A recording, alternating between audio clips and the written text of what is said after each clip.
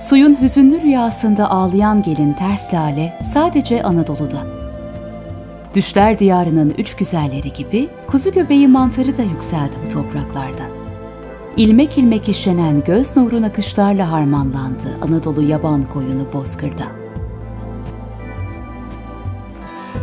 Geçmişten gelen turkuaz desenler yol gösterdi inci kefaline serin sularda.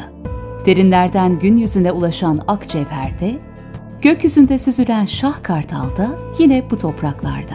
Sıra sıra dizildi siyah inciler, karıncalarla taşındı taneler bu coğrafyada. Harla pişen hoşgörü gibi soğukla demlendi Kardelen'in asmi de Anadolu'da. Biyolojik çeşitlilik geleneğimizdir. Geleneğimiz geleceğimizdir.